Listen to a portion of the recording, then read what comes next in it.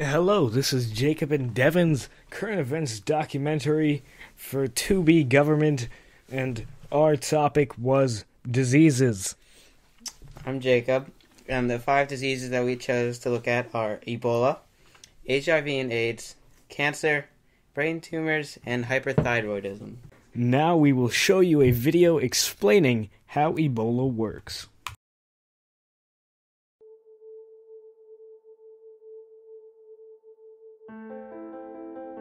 The Ebola virus is a highly aggressive virus that is transmitted through bodily contact with an infected, symptomatic individual. The Ebola virus enters the body primarily through direct contact of mucous membranes, like the eyes or through abrasions in the skin. When inside the body, the virus fuses with tissue cells, invades them, and releases its genetic content into the cell.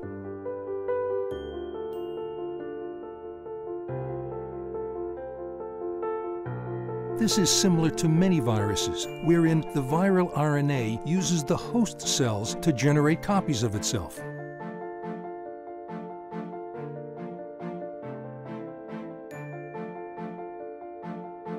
The genetic material takes over the cell machinery to replicate itself. New copies of the virus are formed, released into the system, and dispersed.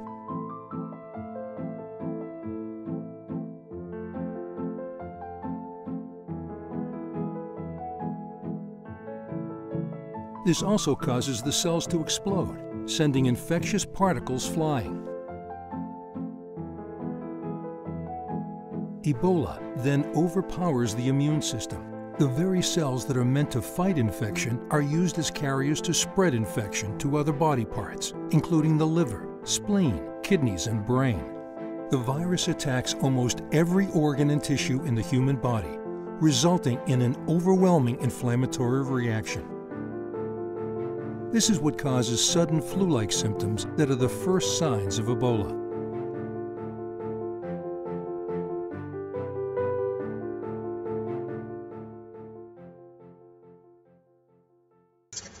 In more recent Ebola news, the nurse that contracted Ebola in Texas, also known as the Ebola nurse, is suing the hospital for damages for past and future physical pain, mental anguish, physical impairment, loss of enjoyment, medical expenses, and loss of earning capacity.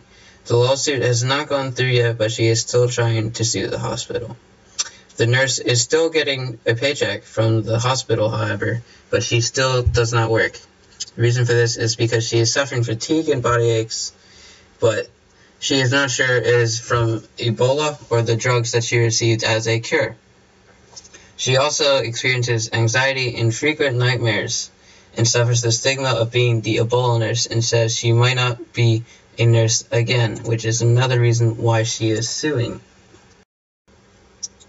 Another reason the nurse is suing is that she is facing a number of issues with regard to her health and her career, and the lawsuit provides a way to address them.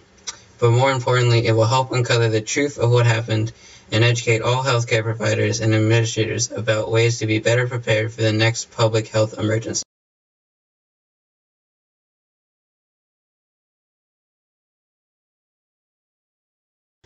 The next disease we are going to look at are brain tumors. There are two types of brain tumors. There is a primary brain tumor and a secondary brain tumor. Primary brain tumor is a tumor which begins in the brain. And a secondary brain tumor is when a tumor starts elsewhere in the body and then sends cells which end up growing in the brain. Now, brain tumors don't always have cancer, cancerous cells in them, but they can. The symptoms of brain tumors depend on their size, type, and location.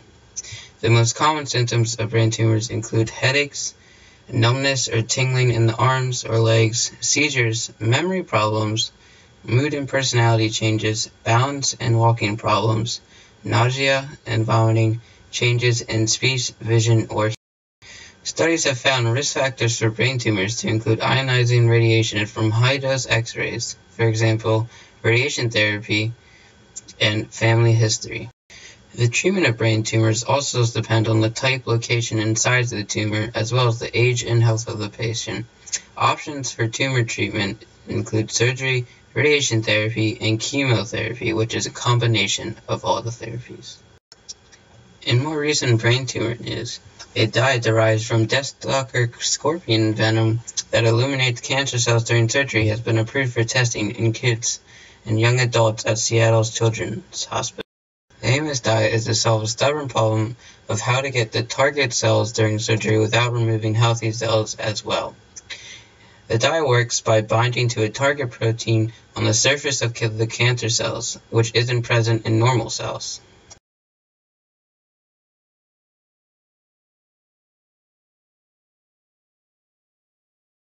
We are now going to show you a video about HIV and AIDS. We explain HIV and AIDS. The human immune system defends the body against illnesses all the time. It uses guards in the blood called T cells to recognize any intruders and destroy them. But instead of attacking the body, the human immunodeficiency virus, or HIV, attacks those T cells themselves. It turns them into copy machines to make more copies of itself, then eventually kills the infected T cells. Without treatment, it takes eight years on average for a person with HIV to develop AIDS, or acquired immunodeficiency syndrome. By then, there aren't enough T cells to fight off various infections and diseases. So it's not the virus directly, but the diseases that are eventually fatal. Humans first acquired HIV from blood contact with apes and gradually transmitted it to more people through unprotected sex, used syringes, and childbirth. AIDS remained undiscovered until a sudden outbreak among gay men in New York and San Francisco in 1981. Very quickly, people began developing the same unusual symptoms around the world. The patients suffered from rare forms of skin cancer, pneumonia, or thrush, and few survived. Prejudice against homosexuality made research funding hard to get, and more and more people were getting sick. What could be done? Keep the virus from spreading. It became clear that the best preventive measure was safe sex, as condoms kept the virus from infecting others. Additionally, blood banks started testing blood, and new programs even distributed clean needles to drug users. Finally, in 1987, the first treatment against the virus was released, the ancestor of combination therapy. The medication still isn't a cure, but it keeps the virus from multiplying and destroying the host's immune system. By starting treatment early, people with HIV can now live long, healthy lives. Unfortunately, many people still lack access to medication, especially in sub-Saharan Africa. Over the last 30 years, about 36 million people have died, while 2 million more are infected each year. Scientists have made a lot of progress, but are still looking for the cure.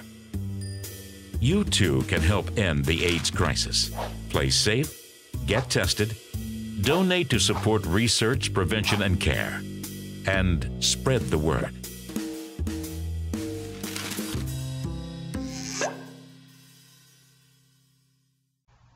So, in more recent news regarding HIV AIDS, a research group up in Pennsylvania has found a medicine or a drug that may one day cure AIDS. Now, for so long, AIDS has had a cocktail of drugs that has never really cured AIDS, but you know, stopped the symptoms. But this one is in its third phase with randomized cl- clinical trials underway. The results on the first two phases of this drug were so successful that an entire section of the World AIDS Conference will be dedicated to this drug. They received a $6 million four year grant from the National Institute of Health, and the drug was originally tried in the 1980s with AIDS victims who were not getting a stabilizing cocktail. And now it's being tried again for 20 weeks alongside other current therapies such as stabilizing cocktails. Now, this results results from this won't be complete until 2017 so that means the research grant will have some extra time in case things go wrong. But this is a big big breakthrough for people with hiv and aids everywhere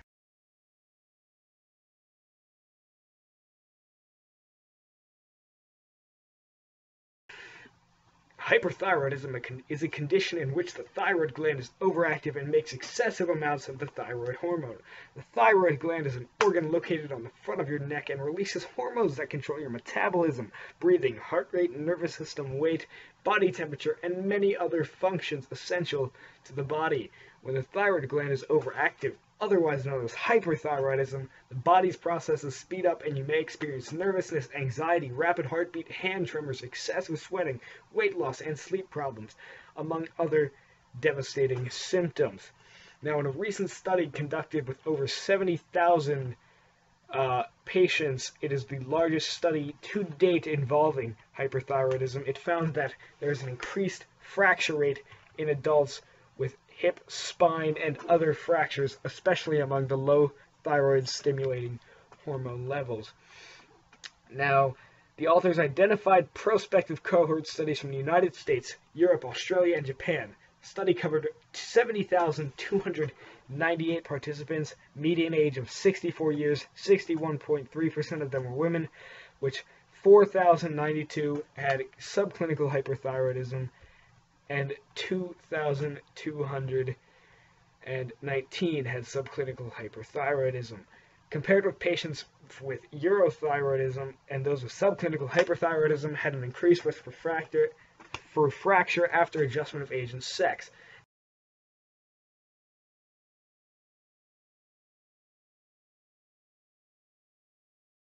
We are now going to show you a video about lung cancer.